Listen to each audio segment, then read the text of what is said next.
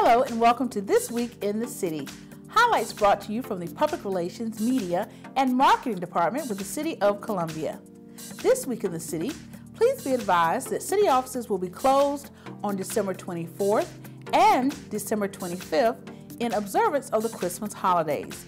Again, that's Christmas Eve, December 24th, and Christmas Day, December 25th. City offices will be closed. However, all emergency personnel can be contacted by dialing 911. Also, we want to remind you that the pet adoption special will continue through the end of this month. You may adopt a pet for only $25 at our animal shelter. You can go on our website at columbiasc.gov for more details, or you can call the animal shelter at 776 PETS. Again, that's 776 PETS. P-E-T-S.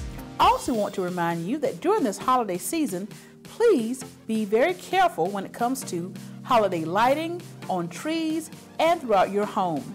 For more details regarding safety tips and information, visit our website at columbiasc.gov and you can see information on our social media platforms on Facebook, Twitter, and Instagram.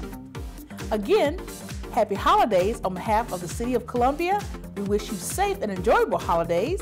And remember that it's going to be a great week in the city.